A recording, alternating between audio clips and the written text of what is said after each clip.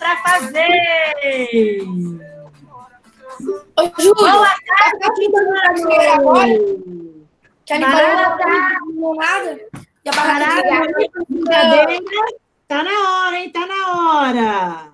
Pararam? Tá na hora, na hora, tá na hora da, da Zizi começar. É isso aí, Luiz. Isso aí. Então, olha, já comecei a nossa gravação. Ainda está faltando alguns alunos aqui. Olha, para mim não apareceu o Arthur Rodrigues.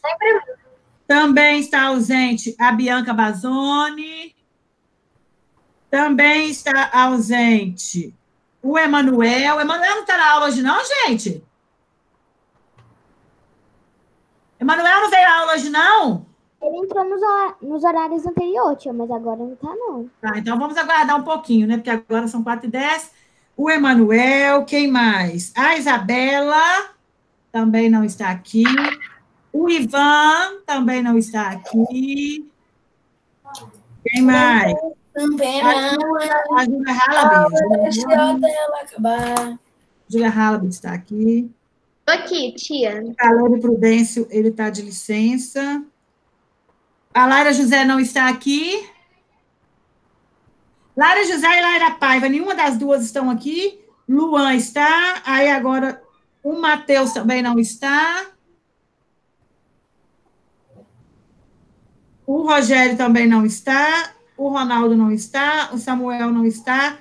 A Sofia. Ah, tá. Sofia Viana. Sofia Viana está, né? Sofia Viana, eu vi aqui que chegou aqui. Ok, então vamos lá. É, se chegar mais alguém aí, vocês me avisam, por favor. Olha, hoje nós temos que fazer duas correções e terminar as explicações. A prova é quinta-feira, né? Prova quinta-feira. Vocês já estão estudando para a prova, gente, ou não? Estamos. É, eu espero que sim, tá? Eu espero que sim, tá bom? Olha, é, nós vamos é, continuar, então, com as explicações de ontem, de onde eu parei, e aí nós vamos já pegar a folhinha aí que eu enviei ontem. Fizeram a atividade de revisão que eu enviei ontem? Sim? Sim! A Yasmin tá mostrando a cabeça ali que fez. Deixa eu ver. O tio. O tio tava... A Eduarda. A Nicole fez, Nicole? O tio tava falando e o microfone tava desligado.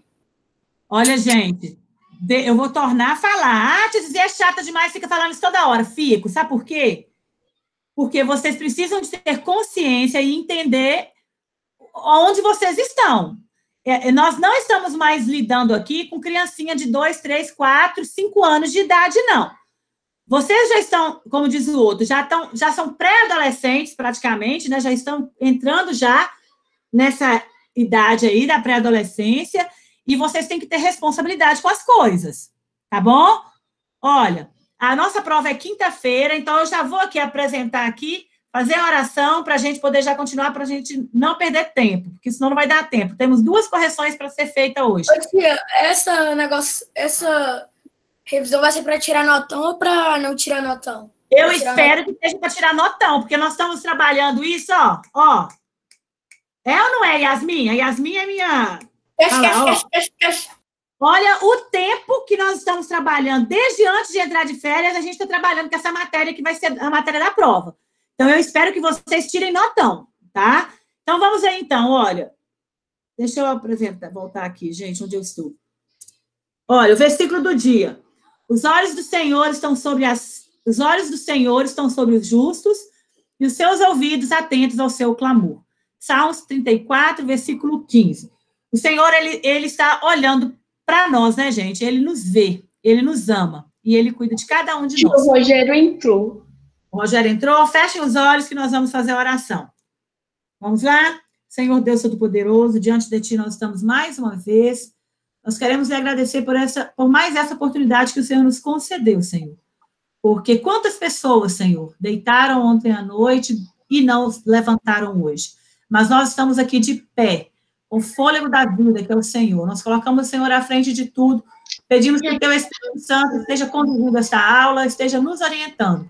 Fica conosco, Espírito Santo. Dê sabedoria, dê inteligência, dê entendimento aos nossos alunos. Senhor, que eles possam sanar, sanar as dúvidas, e que na quinta-feira eles possam fazer uma excelente avaliação. Isso é o que eu desejo para eles do fundo do meu coração. Eu te louvo, te exalto por tudo, papai, em nome de Jesus. Amém. Amém?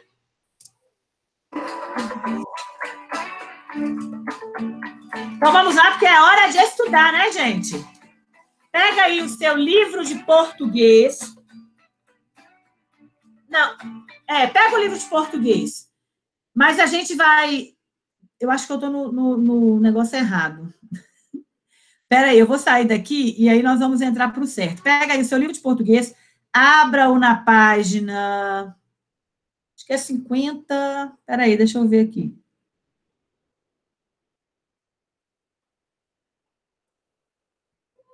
Yasmin, não tem um livro novo. Ah, não. é isso. O livro de português, olha lá. Livro 2. É página 52, não é? Isso. Livro de português, correção das páginas 54, 55, 56, 57.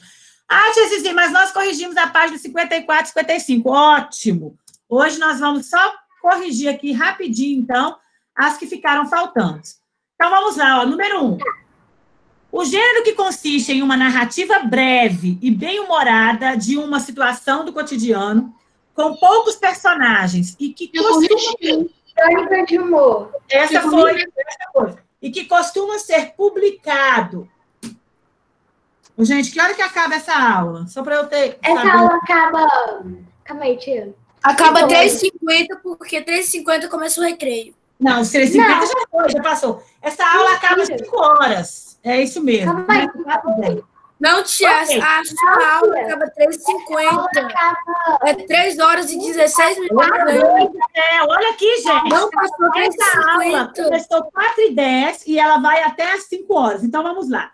É, esse gênero... Não, é até as 5 horas. Eu tô olhando deixa eu rápido. Aqui, ó. Esse... Eu já, eu já descobri aqui. Presta atenção. Tá foco. Foco, gente. Este gênero, que consiste em uma, em uma narrativa breve e bem-humorada de uma situação do cotidiano com poucos personagens e que costuma ser publicado em jornais, revistas e livros, recebe o nome de quê? Crônica de humor. Resenha crítica, crônica de humor ou poema? Crônica de humor. Crônica, crônica de humor. Então, prosseguindo aí. Ah, vamos mais. Número dois. O texto, ele consiste em uma resenha crítica de um jogo, um cartoon, uma história em quadrinhos, um anúncio publicitário. Um cartoon. Um cartoon. Cartoon. Um cartoon.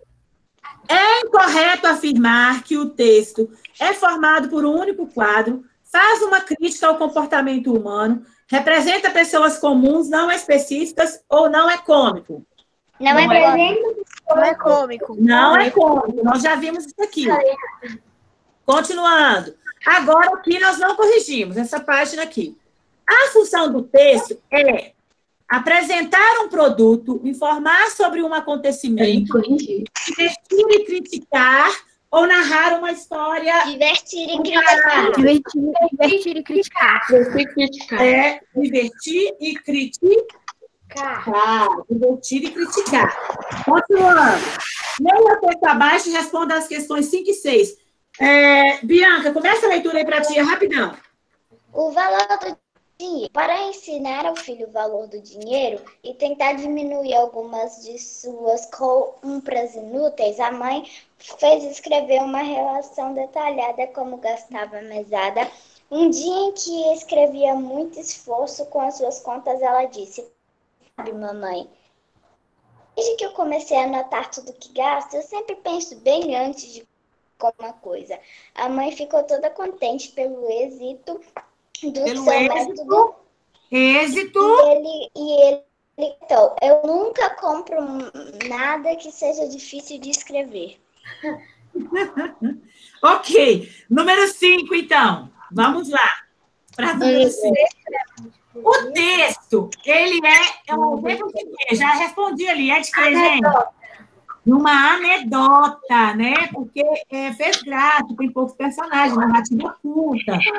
A função das reticências, no segundo parágrafo, é encerrar a frase, indicar um pensamento que se prolonga, marcar que um trecho foi suprimido ou indicar uma pergunta? Indicar um pensamento que se prolonga. Indicar um pensamento que se prolonga. Muito bem. Agora na página 56. Essa eu não fiz. Página 56. Coloca aí a data e coloca se foi corrigido. Leia o texto abaixo para responder as atividades 7, 8 e 9. Nicolas, leia rapidinho, Nicolas. Rapidinho, Nicolas. 1. Um, confira o número de peças com a informação existente na embalagem. 2. Providencie uma base, papelão ou madeira, um pouco maior que a imagem a ser montada. As dimensões da imagem podem variar em até 1%. 3. Separe as peças com cantos retos e monte toda a borda da imagem. 4. Separe as demais peças agrupando-se pelas cores para, se, para facilitar a sua localização. 5. Quando chegar a uma área com muitas peças da mesma cor, separe-as pelo formato. 6. Mantenha o Mantenha o quebra-cabeça em lugar plano enquanto estiver fazendo a montagem. 7. Depois de montar, certifique-se certifique de que todas as peças estão bem encaixadas. Ótimo! Aí, agora, então, vamos lá, então, para a pergunta de número 7. O propósito desse texto aí é oferecer orientações para a montagem de um jogo de quebra-cabeça, é indicar o modo de preparo de uma receita culinária, é apresentar uma resenha crítica sobre um jogo infantil ou é divulgar uma campanha de conscientização? Oferecer orientações para a montagem de um jogo de quebra-cabeça. Olha, muito bem. Ele, Eu ele, tô ficando com medo desse boneco que você pôs na imagem. Também. ele aí está oferecendo orientações para a montagem de um jogo de quebra-cabeça. Muito bem, número 8. As palavras destacadas aí, quais são as palavras que estão destacadas? Confira, providencie, separe, monte, separe, separe, mantenha, certifique. Elas estão, elas são verbos do presente do modo indicativo, verbos no modo imperativo afirmativo, verbos no pretérito perfeito do modo indicativo, ou verbos no futuro do presente do modo indicativo? Verbos no modo imperativo afirmativo. Boa! Vamos lá, verbos no modo imperativo afirmativo. Ok. Muito bem, Bianca. Continuamos. Fizeram aí, gente? Sim. Sim? Então vamos agora para a página 57. Quebra-cabeça é uma palavra. Quebra-cabeça é uma palavra simples, porque é formada por um único radical. Na verdade, quebra-cabeça tem só um radical, gente? Tem dois. Não. Não, tem Tem dois. dois. Tem um radical de quebra e tem um radical de cabeça. Quebra-cabeça é uma palavra o quê? Com? Ô, tia, Tá com- Composta. Oi, pode falar, Manu. antes de você falar as outras respostas, você já deu a resposta, é a letra B.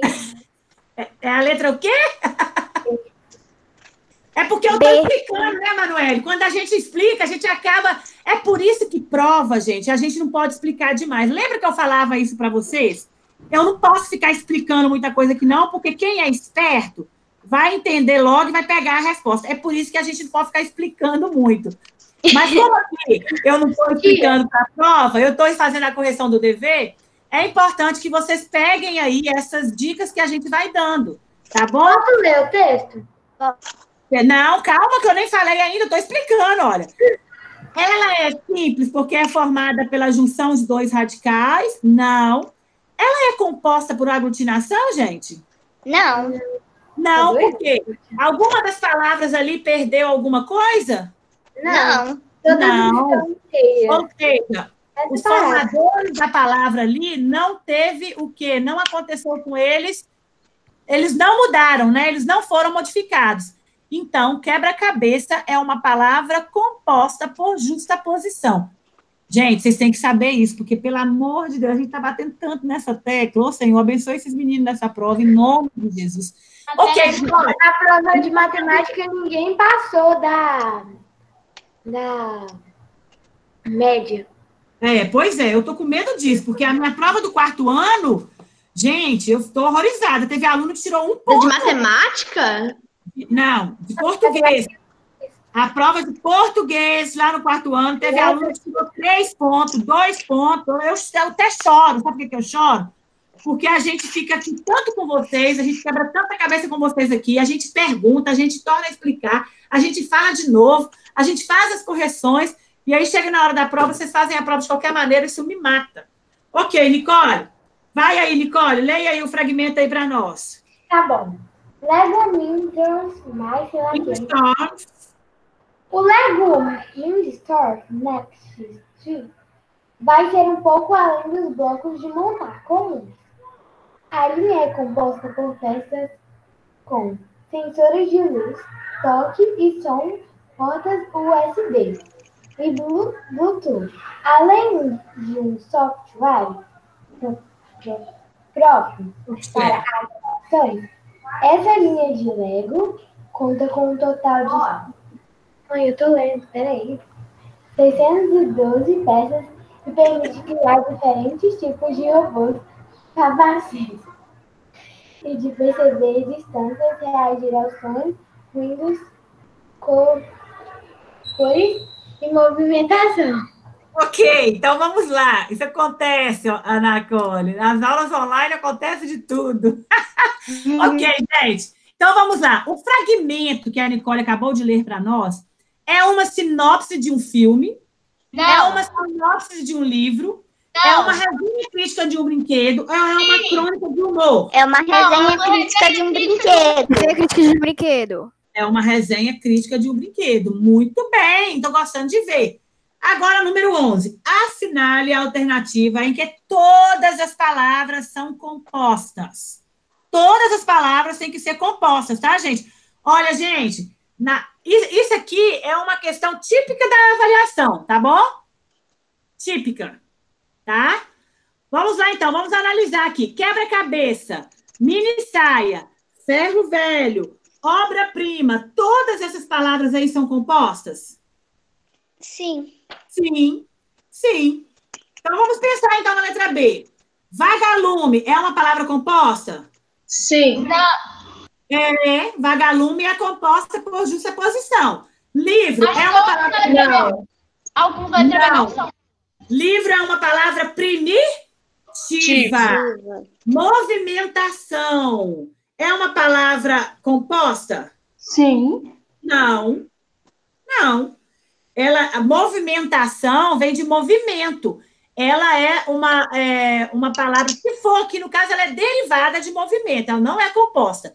Super-herói é composta? Sim. Sim. Anfiteatro é composta? Não. Não, gente, lógico que é. Anfiteatro. Então, Ué? e Não, olha, peraí, anfiteatro. Se ela não é composta, na verdade, eu acho que anfiteatro, ela é, ela é derivada. Eu acho que ela é derivada. Eu vou pesquisar aqui para ver. Garotada, ela é derivada por sufixação. Planalto, ela é composta por aglutinação, que é plano mais alto. E brinquedo é uma palavra primitiva. Brincadeira é uma palavra derivada. Porta-voz é composta. Escola de- é primitiva. E alto-falante composta. Dessas alternativas que estão aqui, qual é a. Vocês viram que eu analisei palavra por palavra? Sim. Perceberam? Na hora da prova, olha para mim aqui agora, todo mundo, porque eu estou achando que o quarto ano errou porque não fez isso. Quando você for fazer a prova, você precisa de ter do seu ladinho aí uma folha ou um rascunho, um caderno, um rascunho. Tia, para quê, tia? Sabe para quê? Para analisar, para você escrever. Por exemplo, se essa questão aí fosse uma questão da prova, eu ia. Eu ia pegar a letra A, aí eu ia vir aqui na letra A, ó, quebra-cabeça. É, ela é composta, composta por, por justaposição. Mini saia, ah, ela também é composta. Justaposição, ferro velho também é, obra-prima também é. Aí eu ia vir aqui e ia Ah, colocar letra letra A. Você vem e escreve letra A. Composta, composta, composta. Analisa palavra por palavra.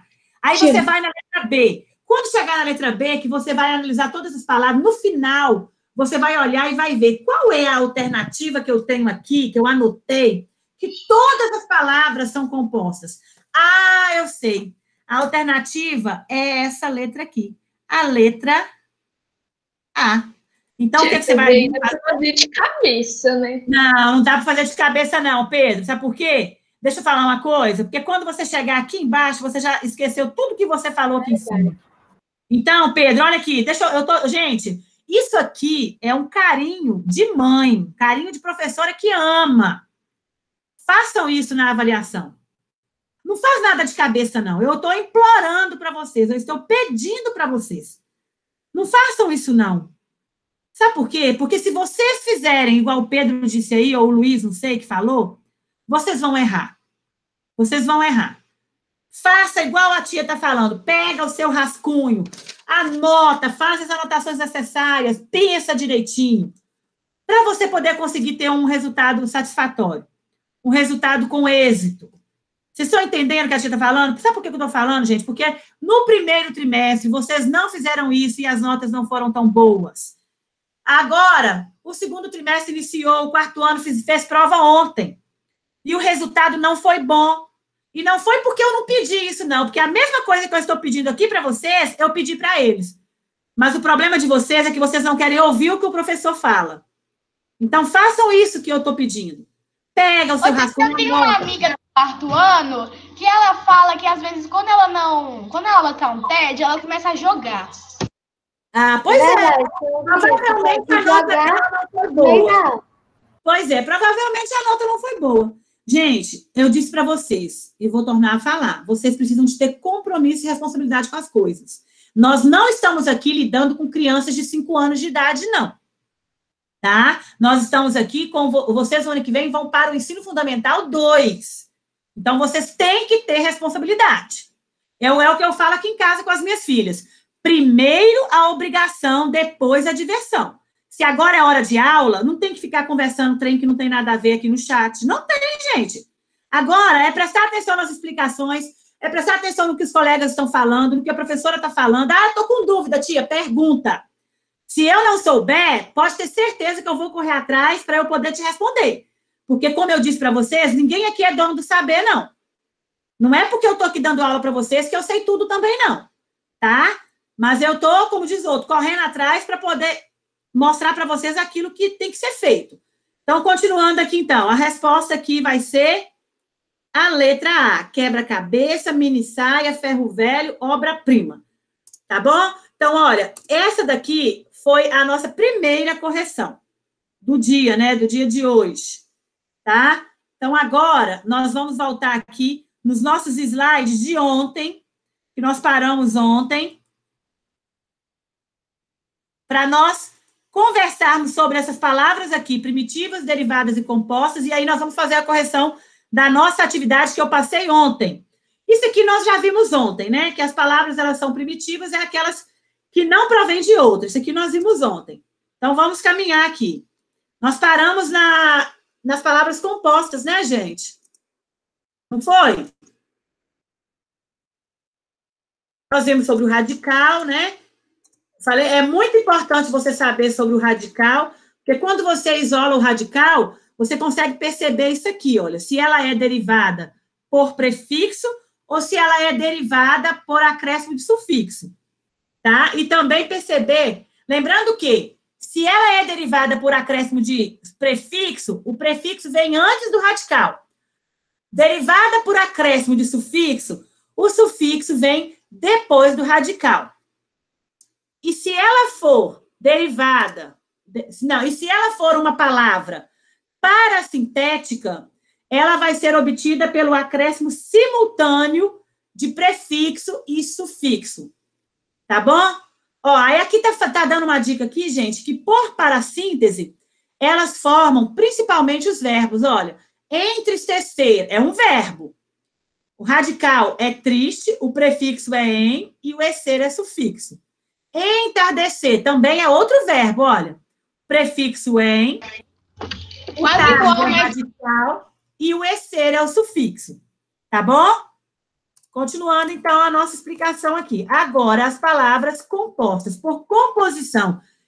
É, composição é o processo linguístico através do qual ocorre a formação de novas palavras a partir de duas ou mais palavras, simples ou radicais, que foi o caso de quebra-cabeça. Quebra-cabeça possui dois radicais, porque são duas palavras simples, quebra e cabeça. As novas palavras formadas são compostas e possuem significado próprio. Existem dois tipos de composição: a composição por aglutinação e a composição por justaposição. Tia, explica de novo a de justaposição. Como é que é, Nicole?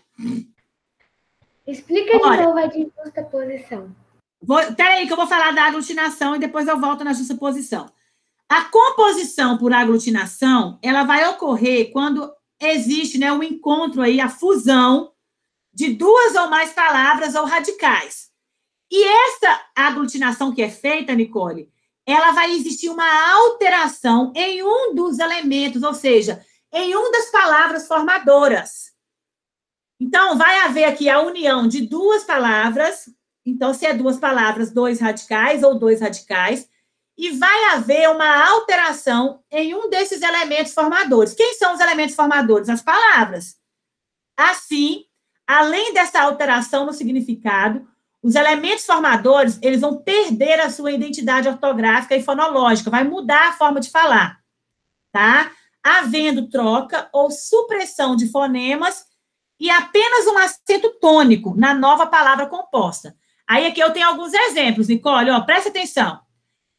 Exemplos de palavras compostas por aglutinação. A palavra, por exemplo, aguardente, é uma palavra só. E ela agora, ela tem um outro significado.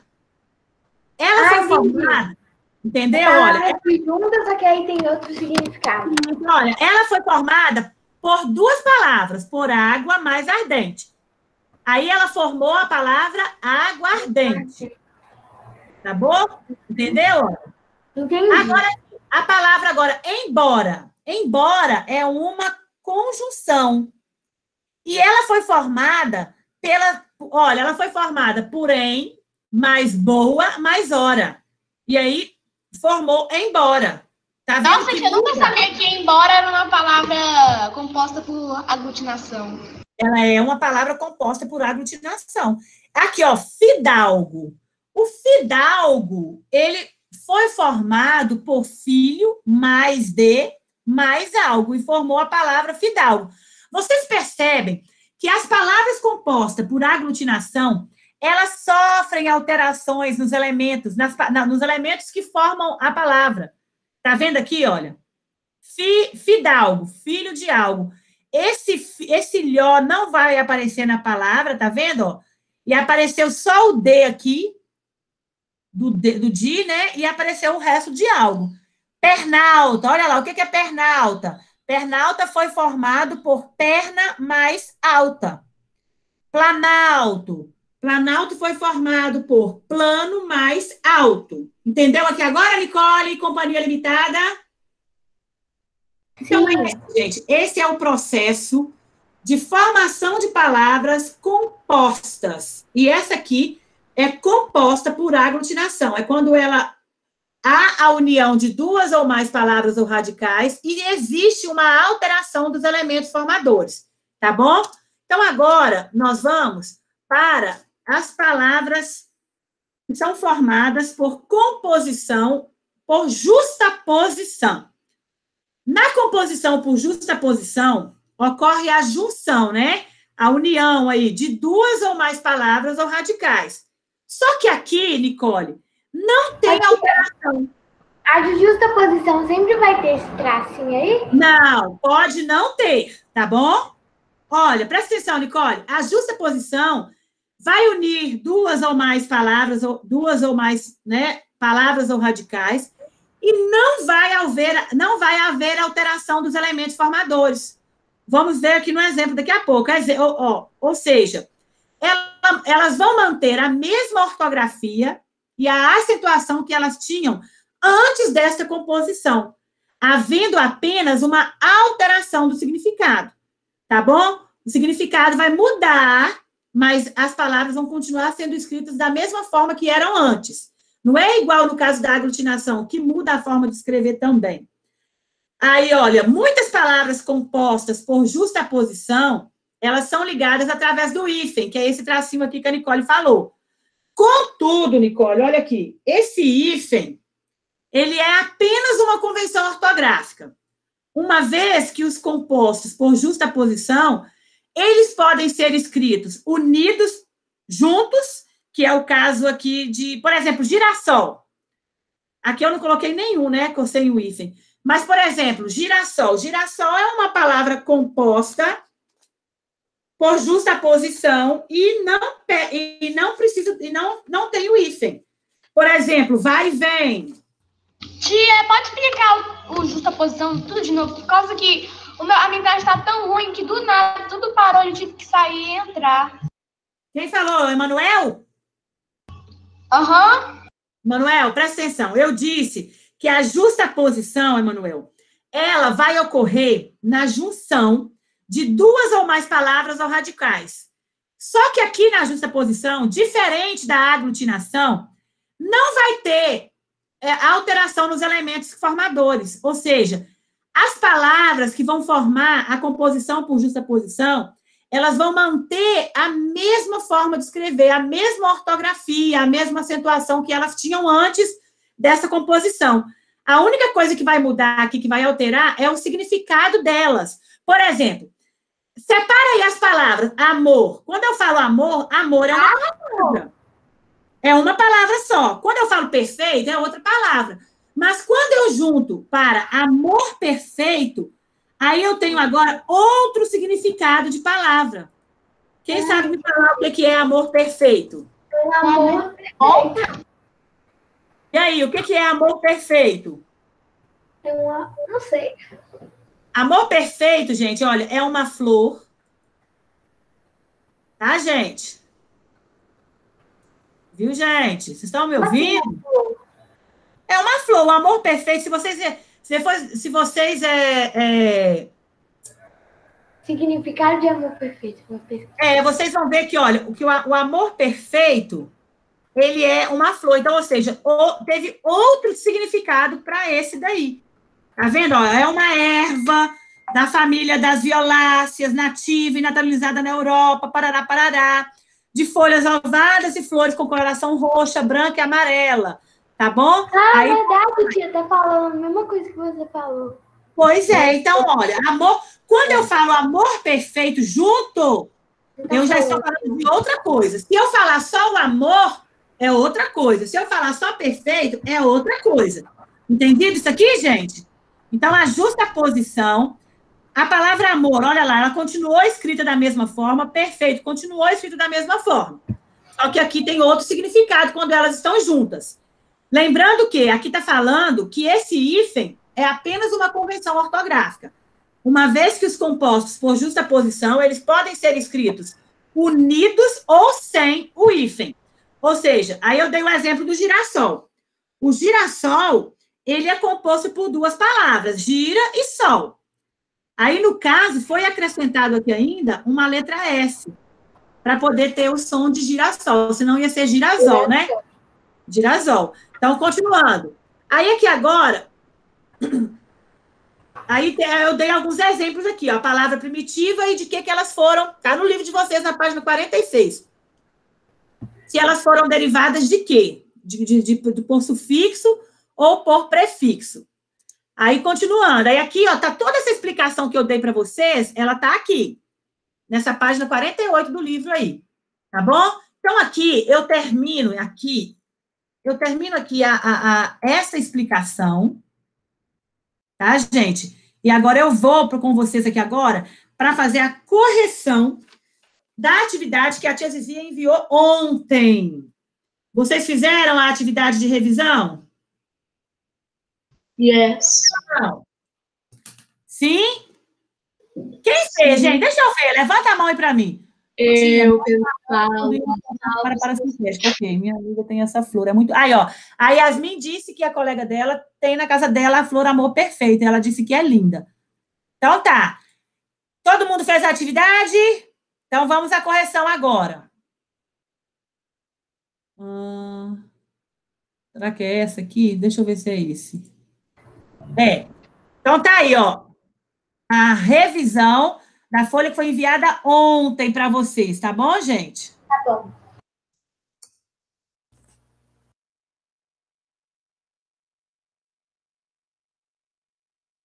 Vamos lá.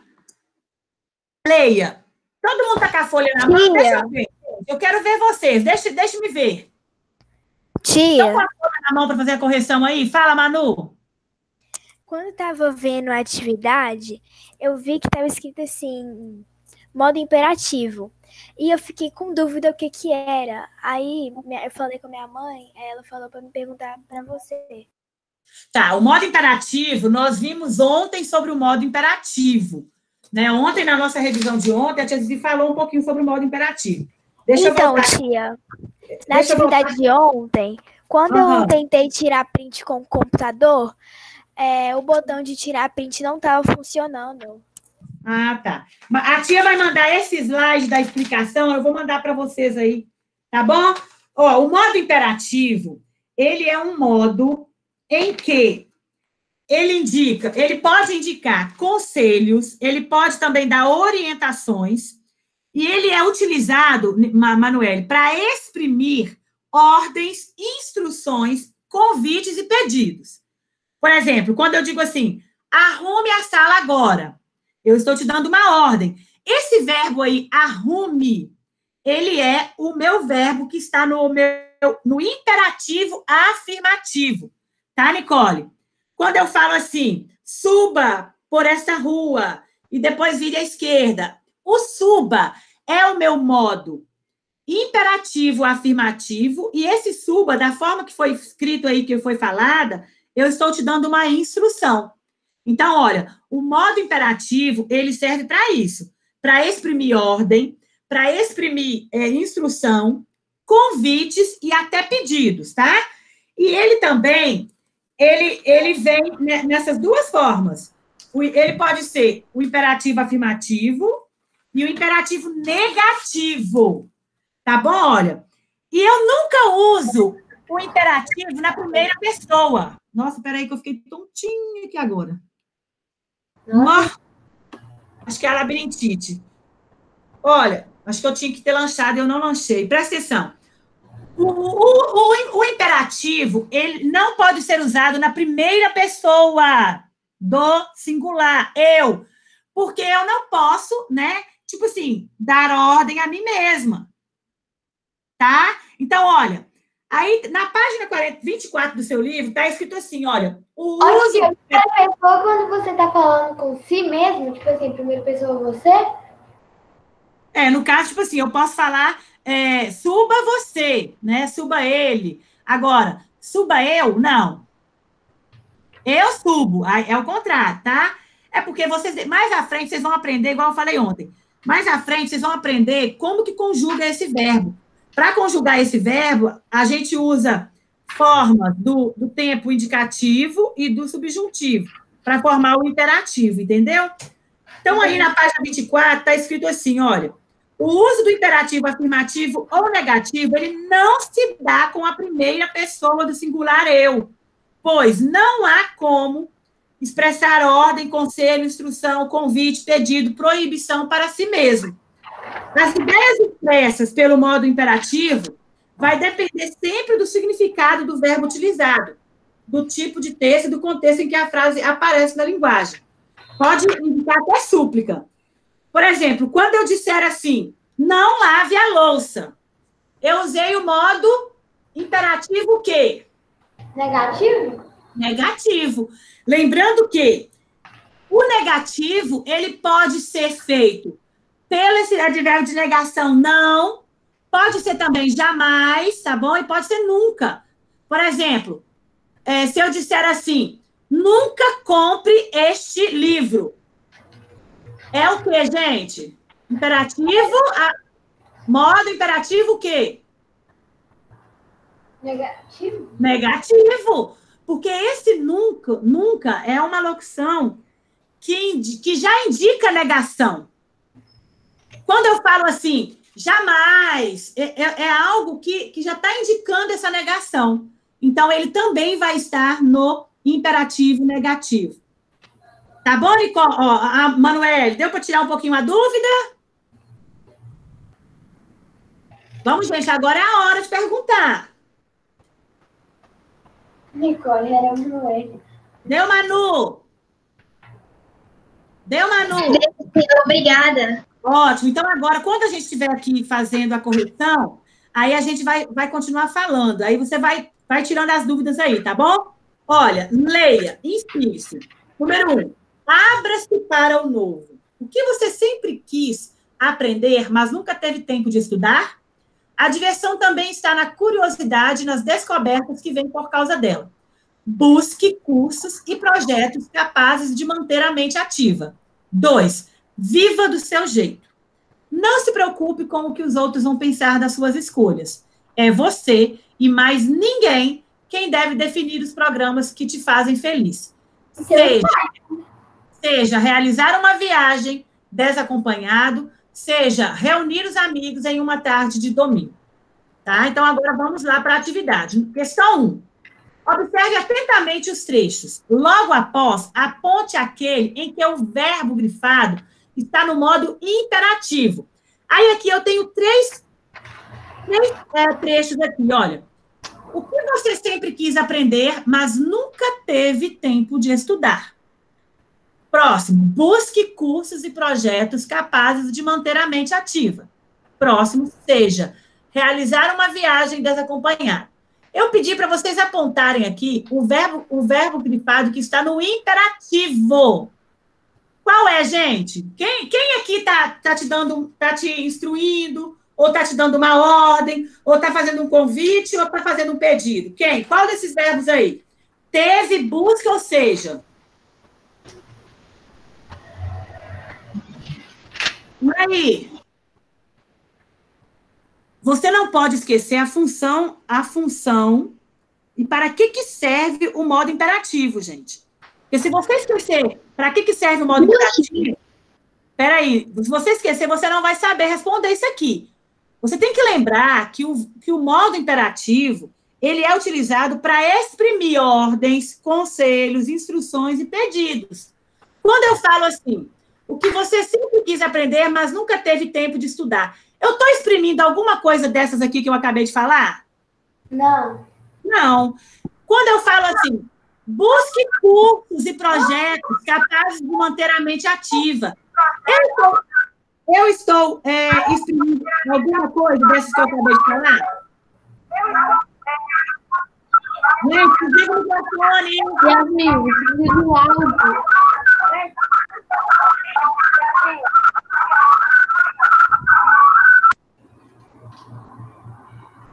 Olha, presta atenção. Quando eu digo aqui, então, busque cursos e projetos capazes de manter a mente ativa.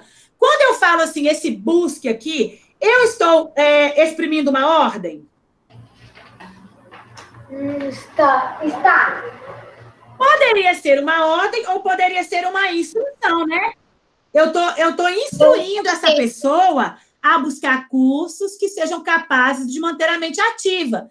E agora, quando eu falo assim, pode ser um conselho também, Conselho pode. também, tia? Aham. Agora, quando eu falo assim, seja realizar uma viagem desacompanhado, esse seja aqui também não está fazendo nenhuma instrução dessas aqui. Então, qual é a resposta correta aqui na atividade 1? Quem que é o verbo aqui? É busque. O verbo aqui que está é, que está no modo imperativo, porque ele está dando aqui essas, é, uma dessas, é, está exprimindo uma dessas coisas, é o busque. Pode ser, no caso, o que a Manu falou, um conselho.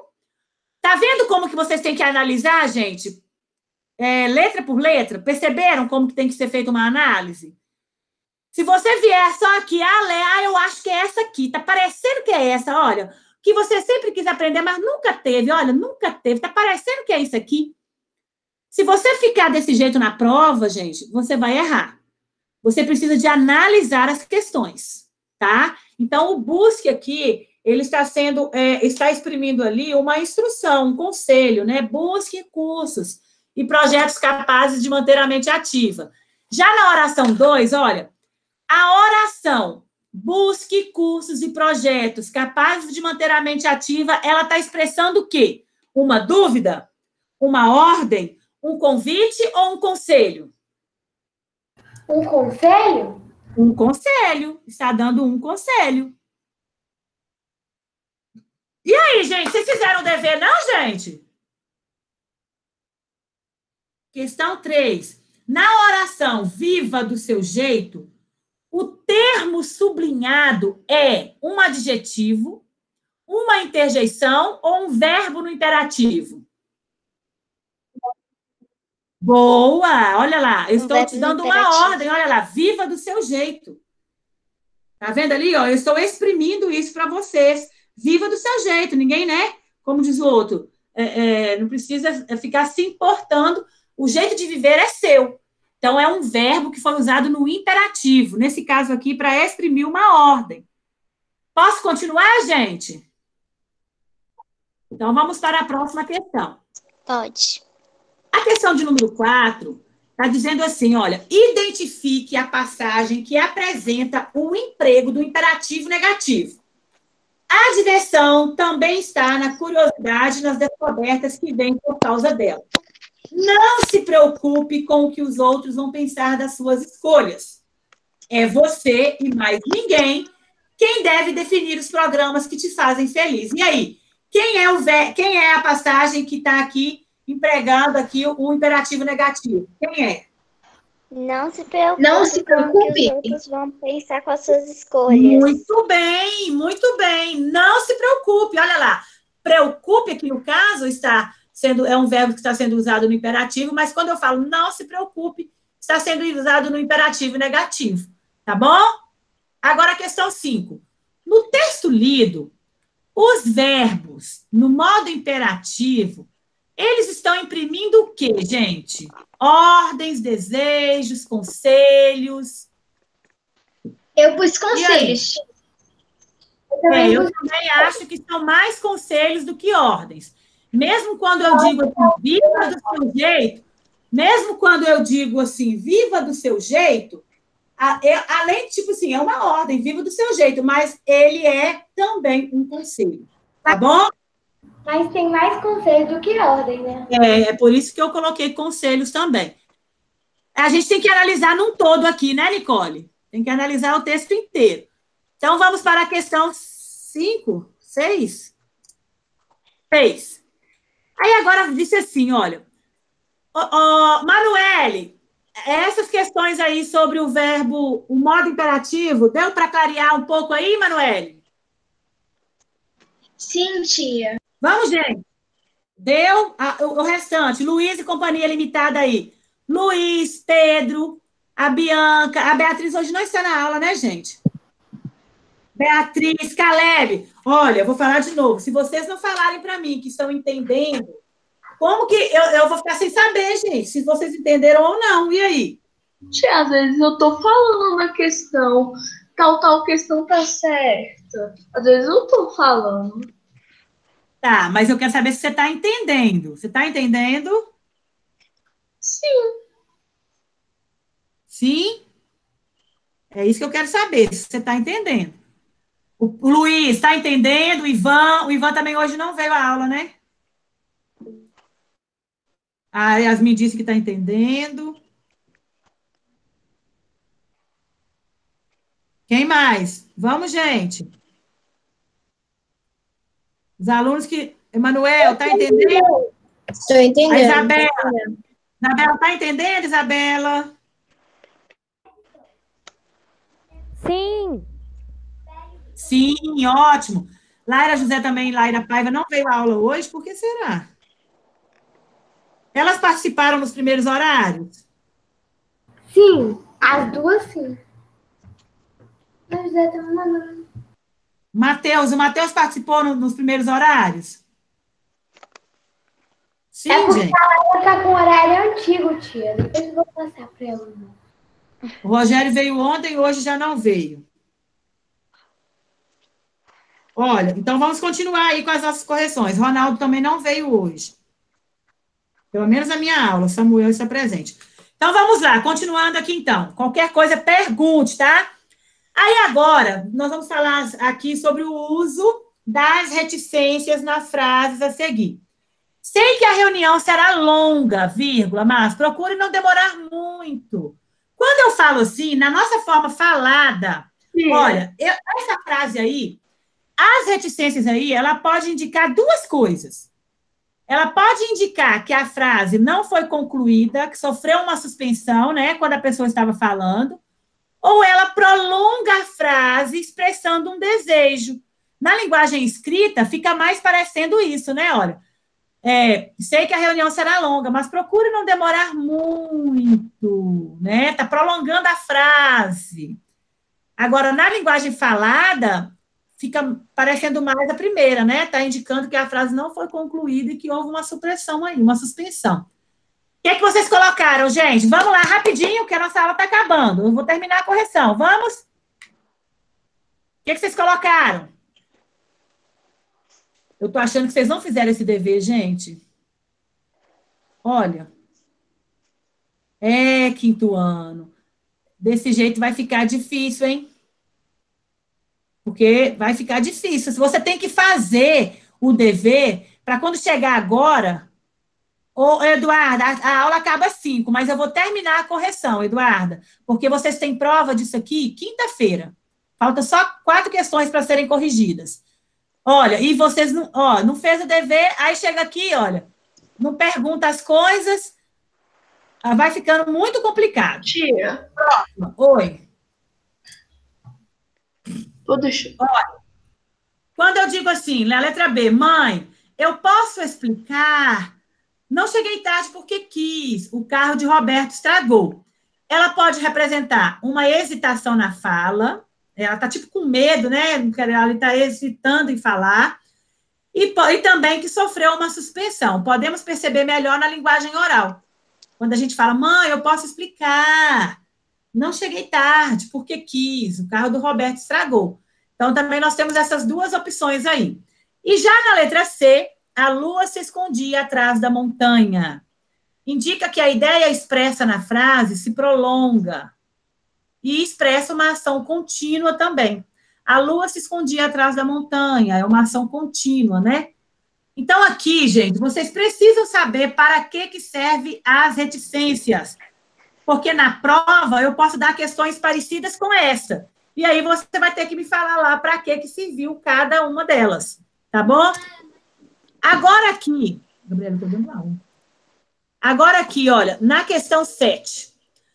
Forme substantivos derivados de. Aqui eu tenho a palavra primitiva e aí eu quero que você me dê o substantivo derivado.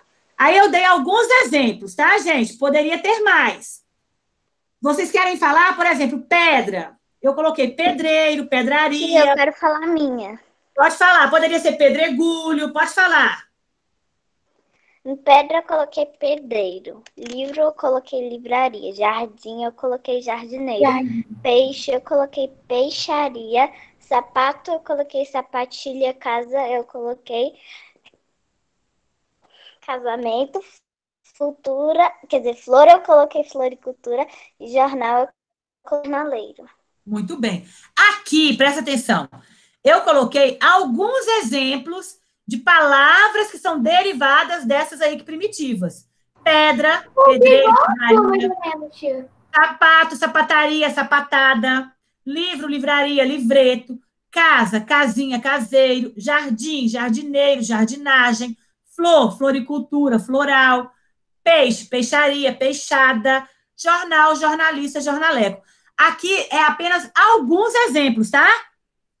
E essas palavras aqui, ó, todas essas palavras que eu coloquei aqui, elas são palavras derivadas por sufixo, tá? Não tem nenhuma aqui que eu coloquei que são derivadas por prefixo. Todas são sufixal. Continuando aqui agora. Já na número 8, encontre os substantivos primitivos que dão origem aos derivados abaixo. Aqui, gente, eu coloquei o contrário. Aqui eu coloquei a palavra derivada e aí eu estou querendo agora a palavra primitiva. Então, olha, pobreza. Quem é a primitiva de pobreza? Pobre. Entristecer. Triste. Triste. A palavra entristecer, ela é o quê, gente? Ela é Tética. Tética.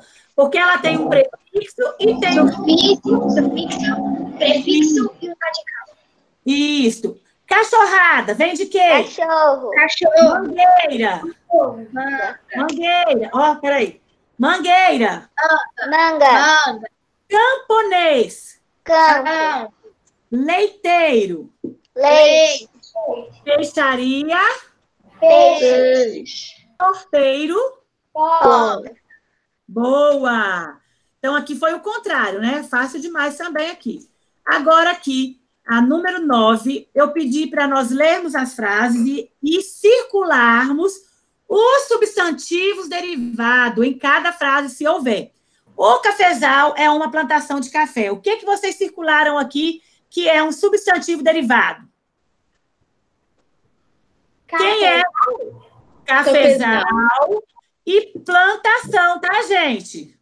Planta. Ah, é porque vem de planta. Tá? Na, na, letra- na- na número 2, o relojoeiro é um especialista em consertar relógios. Qual aqui é a frase? E Isso, que é um derivado relojoeiro, que vem de quê? relógio. Muito bem. Frase 3. Comprei um ramalhete de flores da floricultura. Quem é aqui? Floricultura e ramalhete. Floricultura e ramalhete. Bom, na verdade, ramalhete, eu pesquisei, é, eu acho que ramalhete vem de ramo, né? Não é? Sim. Ramalhete Sim. acho que vem de ramo. Sim. Ok, a gente esqueceu de colocar. Então, continuando. É, número 4. O religioso é uma pessoa que serve a Deus. Qual é? Religioso. Vem de ouro. Religião. E por último, eu adoro comer os pastéis da pastelaria que fica no bairro Santa Rita. Nunca fui, tá, gente? É? Pastelaria. Pastelaria. Ok, então agora vamos para o número 10. As palavras que se seguem são palavras compostas. Escreva-as no lugar correto. Eu disse que elas são palavras compostas. E agora eu quero que vocês escrevam para mim se ela, quem é por aglutinação e quem é por justa posição. Então vamos recordar Faminha. a aglutinação, elas, os elementos forma- formadores sofrem alteração. E a justaposição, os elementos formadores não sofrem alteração. Então, aqui, olha, por aglutinação, nós temos aguardente, boquiaberto, cabisbaixo, embora e planalto. E por justa, justa composição, ótimo, justa posição, nós temos belas artes, guarda florestal, vai e vem, girassol e cabra cego. Cabra cega. Ai, faltou morto-vivo, tá, gente? Eu esqueci aqui de morto-vivo, olha. Ó, o que, que eu fiz? Aqui, olha, na, na justa, justa posição tá faltando morto-vivo, tá, gente? Eu esqueci. Então, agora vamos para a última questão. A número 11 pediu que. Aí eu dei alguns vocábulos, né? E eu pedi para você indicar agora a palavra primitiva e classificar quanto à formação. Aí eu tenho aqui os vocábulos, que são as palavras. Aí eu quero a palavra primitiva e eu quero a classificação quanto à formação. Se ela é derivada por prefixação, sufixação, ou se ela é parassintética, ou se ela é composta por justaposição ou aglutinação. Aí eu tenho desgosto. A palavra primitiva gosto. E ela é derivada por prefixo des. Tá? Casinha. Primitiva. Casa. Derivada por sufixo inha. Repor. Primitiva. Por. Derivada por, por prefixo ré. Lembra que a tia Zizi falou que você precisa achar o radical da palavra? Lembra, gente? Lembro. Pois é, você tem que achar o radical da palavra, tá? Na verdade, aqui, o radical dessa palavra aqui é só goste, porque esse O aqui já é uma vogal temática, mas isso é uma outra história, vocês vão aprender depois. Anoitecer, palavra primitiva noite, ela é parasintética. Faltou um i aqui também, ó. Ela é parasintética. O a é o prefixo e ecer é o sufixo. Tá bom? Tá bom. Agora aqui, olha. Águas furtadas. Eu tenho água mais furtar. E ela é composta por justa posição. Porque não houve alteração aqui nos elementos formadores. Madre pérola. Eu tenho madre mais pérola. Duas palavras, dois radicais. E não houve alteração aqui nesses elementos formadores. Então, ela é composta por justa posição. Cadeirão. Palavra primitiva, cadeira.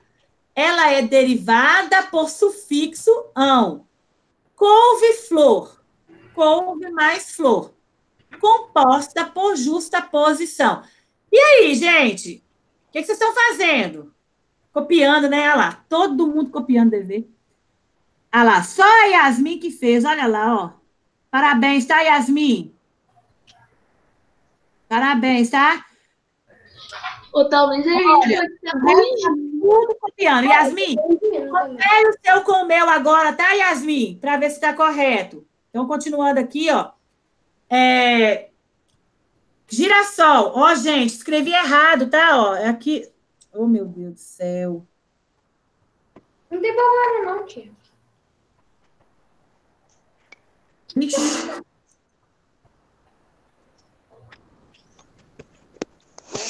É gira mais sol. É, gira mais. E ela é o quê? Justa posição. Ela é justa posição, tá?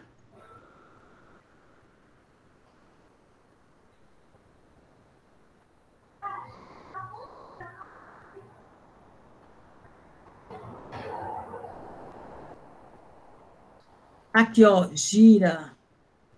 Tem jeito de eu escrever, gente? Tem não, né?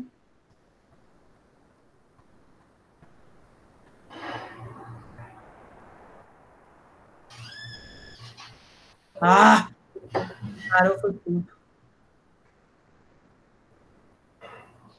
Então, olha, girassol.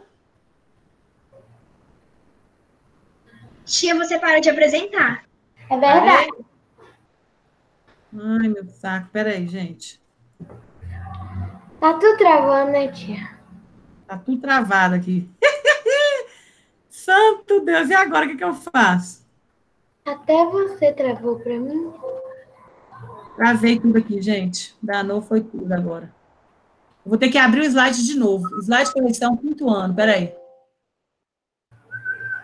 Deixa eu voltar aqui, olha. Então, enquanto isso, vão fazendo as outras aí, pra gente só corrigir. Gente, quem sabia que a Yasmin tem uma irmã gêmea? Quê? A Yasmin tem uma irmã gêmea, tem duas Yasmins. Sério? Aqui, olha. Yasmin Yasmin. Ela tem uma irmã gêmea. Mentira. E aí, gente, fizeram já? Eu posso voltar com a correção? Pode. Eu não terminei há muitos anos, muitos dias atrás. Posso voltar com a correção? Pode. Pode. Então, peraí. Já terminaram? É. É, né? É, aposto que vocês estão esperando aí, não, não terminaram. Então, vamos lá, então. Vou, vou apresentar de novo a tela aqui. Isso é a gente fazendo slide de madrugada, aí, né, porque tem que fazer para dar conta, aí, aí você escreve as coisas, aí às vezes sai um trem errado. Agora eu corrigi. Slide de madrugada, tia? É, uai, tem dia que eu fico aqui até não sei quantas horas aqui fazendo eh, essa, esse, fazendo as coisas, né, os vídeos para as aulas do outro dia. Esse aqui mesmo eu fiz ontem à noite, ó. Ontem eram as duas horas da manhã, eu estava montando isso. Continuando aqui, então, olha, fala, Luiz.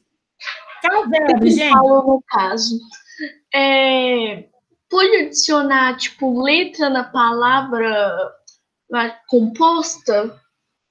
Não, na palavra composta por aglutinação, é, muitas vezes, pode, às vezes acontece, mas Tipo muitas vezes elas perdem, elas perdem palavras, entendeu? Elas, pe- elas perdem letras e às vezes acrescentam, igual no caso de girassol. Gira mais sol. Ela é composta por justa posição. Casebre, casa, derivada por sufixo ebre. Entardecer, tarde, parasintética, né? Faltou um i aqui, eu consertei aqui embaixo e esqueci de cima. Em, prefixo e ec, sufixo. Dentadura, vem de dente. Derivada por sufixo adura. Desobedecer, obedece, ela é parasintética, des, prefixo, e ecer, sufixo. E desavisado, vem de avisa, né? De avisar. Ela é parasintética. Olha, gente, ela não é parasintética, não. Isso aqui tá errado. Oh, meu Deus. Espera aí, gente. Ela é prefixal. Tá vendo? Isso aqui foi copiando o TV lá ontem. Foi copiando de um para pôr no outro. Você Ela- para de apresentar de novo. Ah, essa daqui, olha, a palavra desavisado. Peraí, desavisado. Avisa. Não, é isso mesmo, tá certa. É o sufixo ado, isso mesmo. Tô doidinha, gente. Tá correta, tá? Ela é parasintética porque ela tem. Olha lá, ela tem o prefixo des, tá vendo a tela aí? Estão? Agora não. Ela, Agora ela tem, ela tem o prefixo des e ela tem o sufixo ado. Tá bom? Ok, gente, terminaram? Olha, eu vou terminar a gravação e depois, quem quiser, eu volto aqui de novo, tá bom? Pode terminar, tia. Aí você deixa aí, se quiser sair pra coisa, que eu vou copiar. Olha, então, olha, bons estudos para vocês, que vocês façam uma excelente avaliação, tá? Isso é o meu desejo para vocês. Agora, tem que estudar, tá, quinto ano? Se não estudar, já sabe o que, que vai acontecer, tá? Então, olha, fiquem com Deus, um beijo no coração, tá? E a gente se vê. A gente agora vai se ver só segunda-feira. Beijo no coração. Tchau, tchau.